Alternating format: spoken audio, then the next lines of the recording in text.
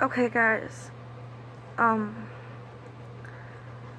So, apologies for making this video in advance.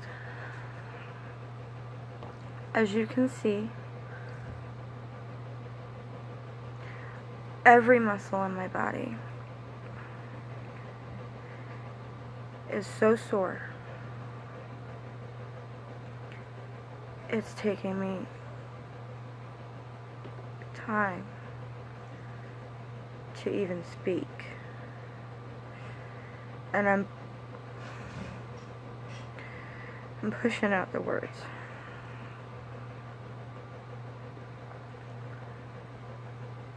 I have severe PTSD.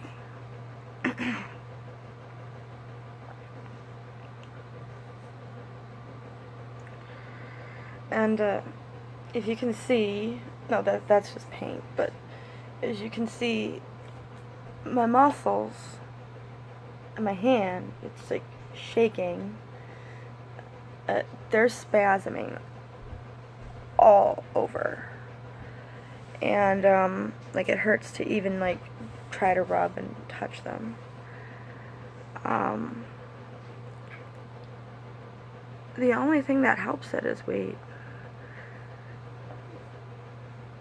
Um, and I, I mean, I, I tried, you know, taking a hot shower. I figured that would help a little bit too. I just smoked, like, a whole bowl to myself. I'm still in pain. I'm still in, like, severe pain. It's starting to numb it out, but I'm in severe, I mean severe pain.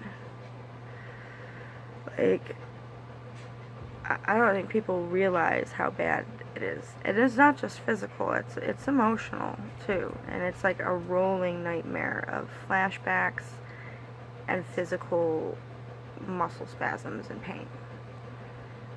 I don't feel like this every day now. Like sometimes the medication that the doctors prescribe me, it helps. But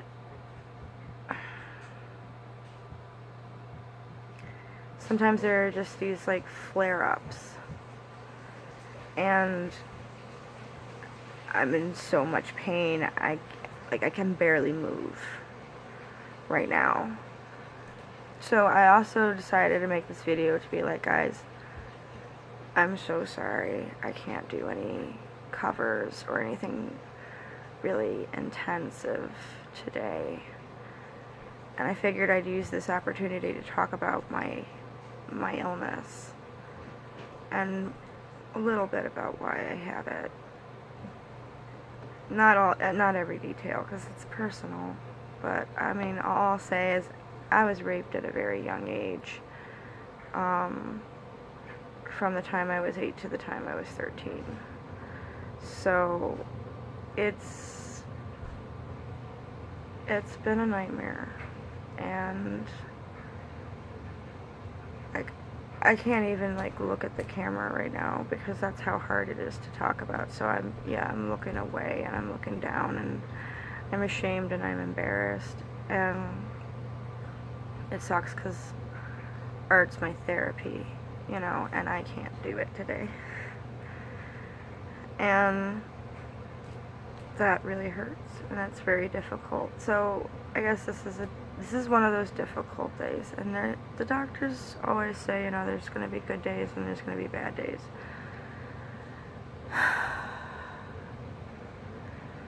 And I, I use I use marijuana to deal with it medicinally. Which is also part of a good it's like a good topic to talk about I think. You know like legalize it people how, how fucking hard is that? You see? Like, are, do you see that? That's not me moving my arm. That's the muscles in my arm spasming right now. And there's some in my back, like right here. Oh, too. And sometimes cracking it helps, and sometimes it makes it worse.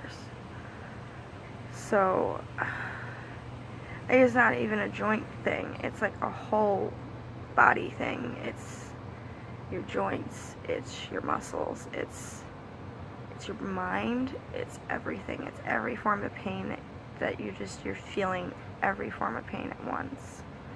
It's like living in a waking fucking nightmare.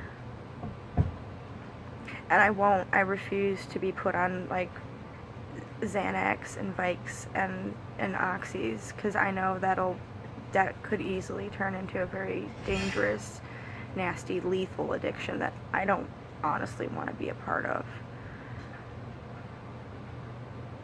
Weed is safer than that. Weed is good for that and it deals with all of that.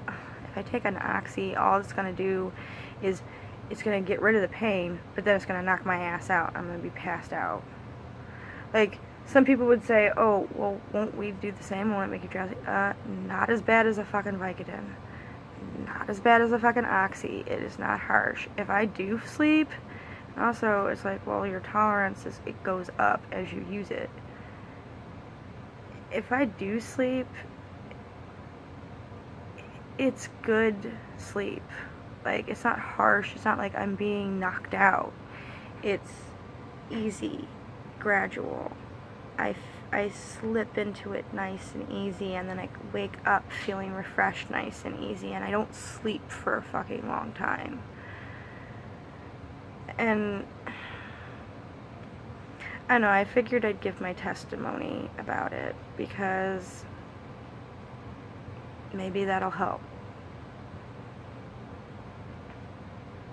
Maybe that'll help people, you know, work harder to make this new legislation or whatever work better because right now it's not working like it's there's so many stupid fucking red hoops that you got to go through as a doctor just to be able to prescribe it that no doctor is prescribing it.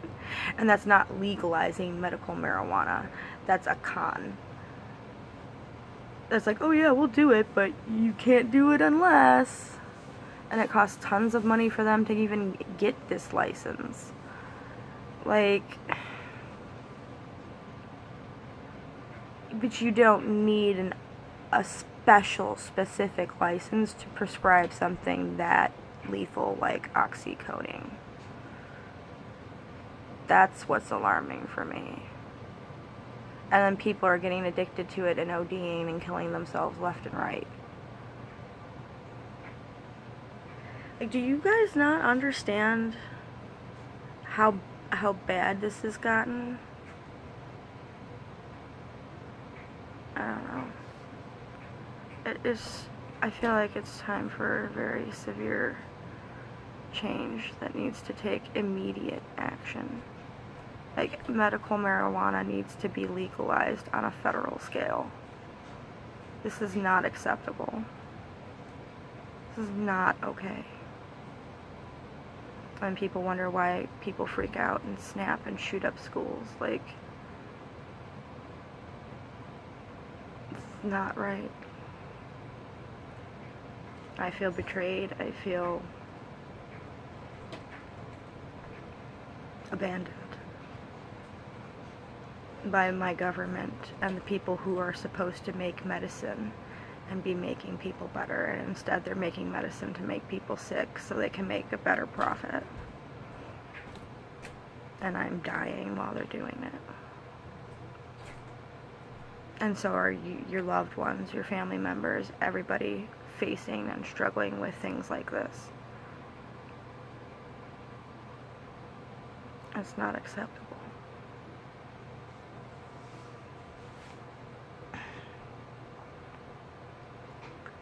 So, I don't know. I hope this, like, reaches people. And if it does, and, like, you relate, you agree, maybe you don't. Or, you know, maybe, hopefully it'll get you to maybe look at the issue more closely. Maybe. I mean, it's an herb. It's an all natural plant. And they're trying to tell you that putting a harsh chemical that will make you severely addicted and ill is better for you? No. Unacceptable. Unfucking acceptable.